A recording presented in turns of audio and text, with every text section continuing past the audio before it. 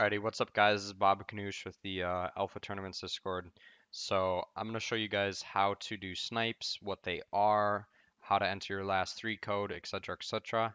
Um, if you already kind of know most of it and you just need to skip around, I will put some timestamps in the description to be able to click around so you don't have to listen to the whole thing. Um, so I'm just going to start off by explaining what snipes or scrims is, what the goal of it. Um, so the goal is for everyone or for a ton of people all to queue up to hit ready up at the same time in the hopes of getting into the same game so that they can play against each other. And so how they achieve that is they'll join a Discord queue, somebody will count down, and then everyone hits ready up.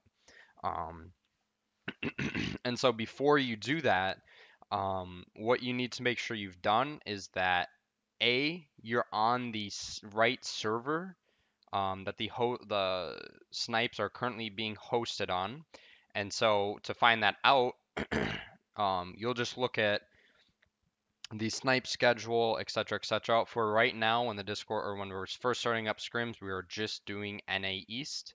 Um, but depending on whatever host it is in the future, you'll go into Fortnite, you'll go to your settings, um, switch over to the server settings tab, and then you'll just change to NA East.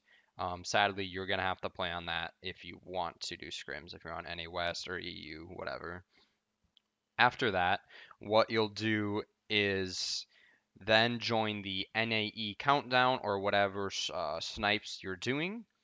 And you'll just wait for the host. You know, a game, a game might currently be in progress. You can find out in last three. Right here it says next snipes in about zero minutes. You know, it'll count down from 25 minutes to when the next one is. Um, and that's how you know when it is.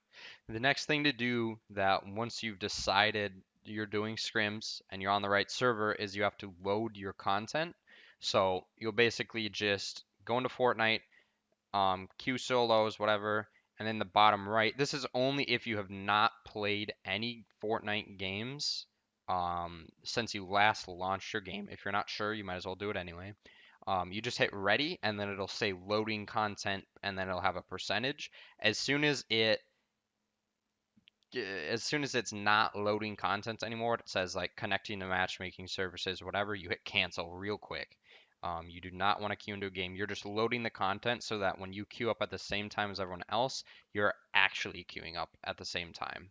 The next thing to do is just listen to the host. Um, each time that they're hosting a new snipes, they're probably going to say the rules. They're going to explain kind of this whole spiel that I just did, but much quicker and more concise.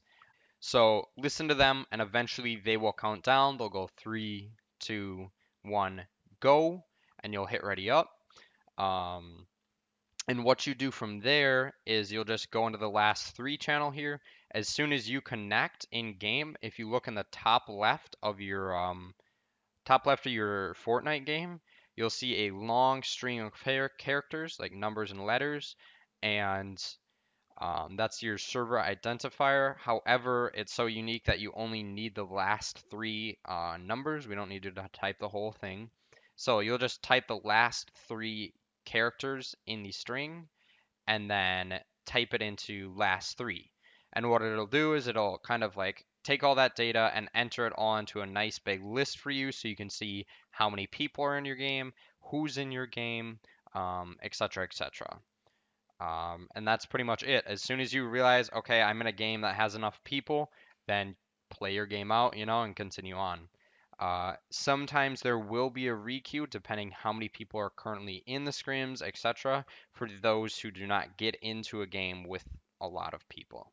Um, so yeah, that's all. Hopefully that answered all your questions on scrims. Uh, if not, you can DM a scrim staff or just ask somewhere. So yeah.